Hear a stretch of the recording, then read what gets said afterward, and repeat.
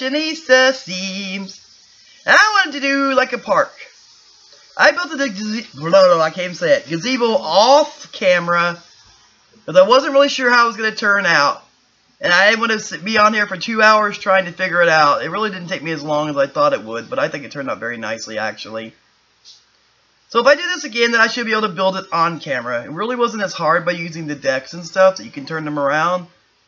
And use the, the poles and stuff like that to put the roof and, and the, I'd say, kind of an arch thing on there. Um, it's like a, a sided molding or something that goes onto that part. But I, I wanted to make the gazebo because there's a lot of parks that have them, and usually they can have more than one. But I, I decided to build a pretty good large one, put a grill, some tables and benches and things like that out there. So you can kind of enjoy it when you're out, you know, out enjoying the warm weather. A nice place, you know, to sit, eat, and have parties or whatever you want to do, or just family get-togethers. I tried to put lights, but seeing was curved like that, they wouldn't fit properly, so I had to just let that go. So I found other things to do instead. I put a couple of poles, and it's like, I wanted to be lit up somewhere you could actually see the inside. Because, you know, sometimes your family gatherings and things like that can be in the late afternoon or evening, you know, times. Well, I decided to do this, and I had to kind of rearrange them here and there to get them to fit. But at, at the end, you'll see where I lit it up for a little bit at night. I thought it looked very nice.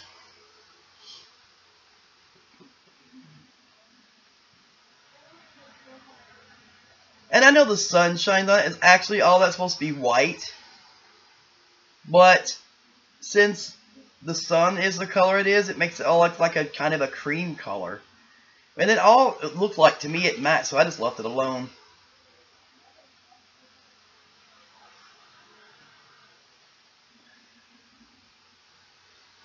I put some little candles and things like that, lanterns and things, you could see like it light, like kind of lit, lit up inside too. And nice little flower pots here and there to kind of have a little bit of decoration.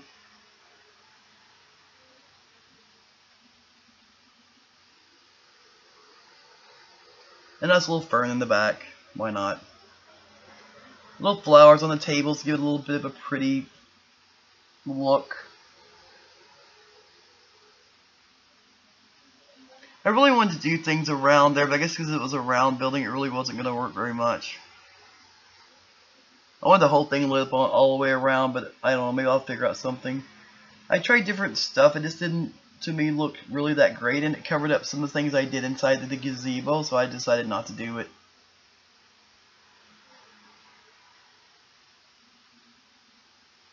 I like those big little flower pot things there, those with the wood crate looking. I thought they were very, very nice.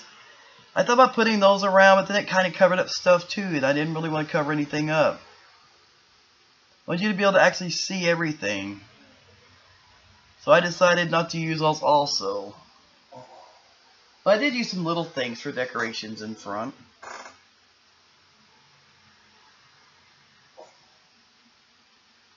What about using fencing? And I didn't really care for how that looked either, so I just left it more of an open park area.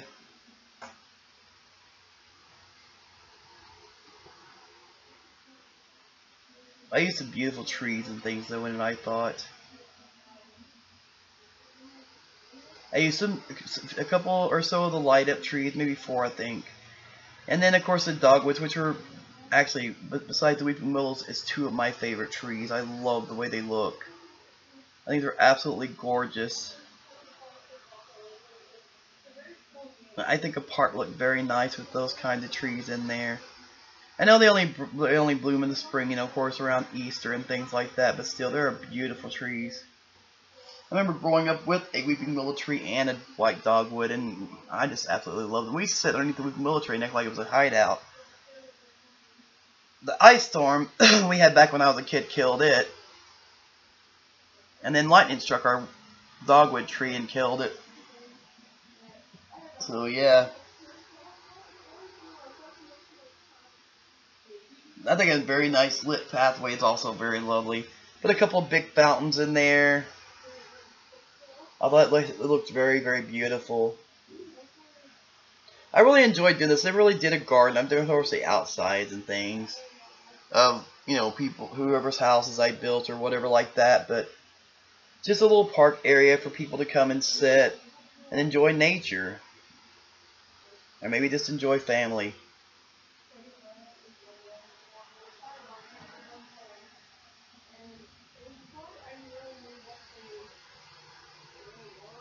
I put the llamas out there because of that Sims stuff right there. I thought about a couple of those topiary trees. I nah, I'll put the little llama things up there and a couple little things like that.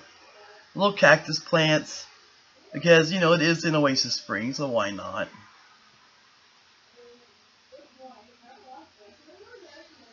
I put the beautiful flowers all the way around. It actually fit. I was actually shocked. I don't know how well it's going to fit with it being like that, the round shape. But I think they, they look very beautiful on the outside.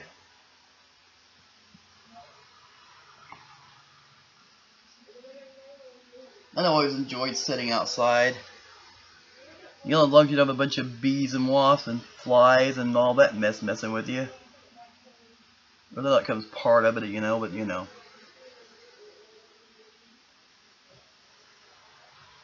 Yeah, I tried to do fencing and it just didn't look right. I tried to move everything and I was like, nah, forget it. And that covered the little plants there and the little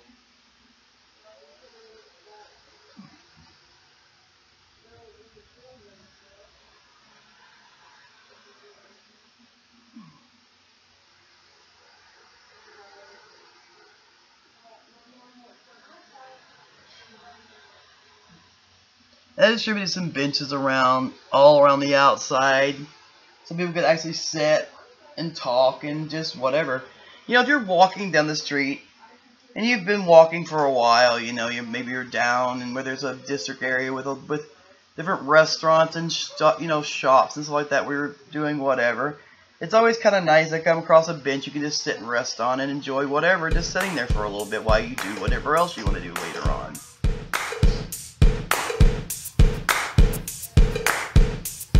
Coming close to the end of the video, folks. I really appreciate everything, and thank you so much, everyone. What do we say? Goodbye, everybody! Hell yeah!